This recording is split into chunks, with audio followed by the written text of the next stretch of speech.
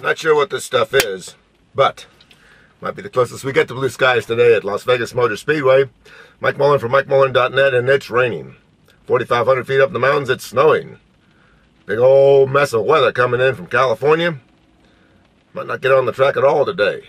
Friday, Las Vegas Motor Speedway, and these guys need some practice with these 213s. They didn't have much practice at Phoenix. You saw what happened. Not a very good race. So what are we going to do today? Well, we're going to check on the schedule and try to figure out a better system of starting the season off for the first two months.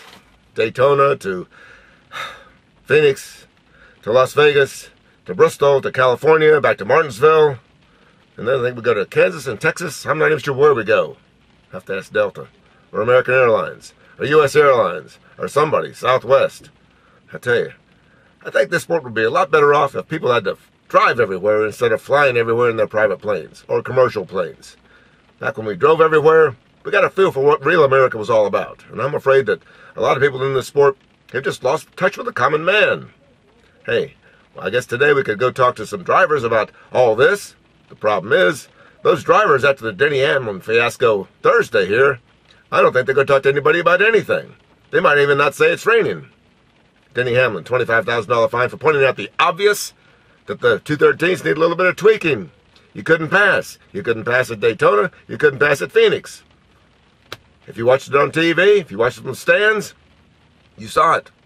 Then he just said what everybody's been seeing. NASCAR fined him $25,000. I guess the truth doesn't really matter in this sport anymore. It's all about marketing and pizzazz and PR and all that sort of stuff. Well, I think there's a bunch of hogwash. I think NASCAR made a major mistake in that $25,000 fine, and so does Kyle Petty. And so do a lot of fans. We've been watching Twitter and Facebook the last few hours. They're not taking NASCAR's side in this. And I agree. NASCAR made a mistake.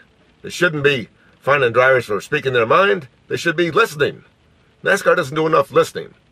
There's too much talking, not enough thinking, and not enough listening. But that's just me. Mike Mulhern and MikeMulhern.net at Las Vegas Motor Speedway. Enjoying the rain. Maybe I go up to the mountains this afternoon and play in the snow.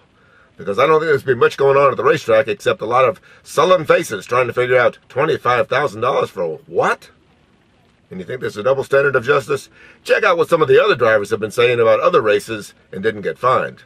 Maybe Denny Hamlin's just their whipping boy this week. He's not very happy. Says he's not going to pay the fine. Might have to pick up a collection. You know how NASCAR justice is. They're the justice. Of the Pecos, east of the Pecos, south of the Pecos, north of the Pecos. Whatever they say goes. Or you can pick up your car and go home. Me? I'm going to go out there and see if I can rustle up some news. Rattle a few cages, like the Big E used to say. Mike Mulhern from MikeMulhern.net. A rainy Friday, Las Vegas Motor Speedway.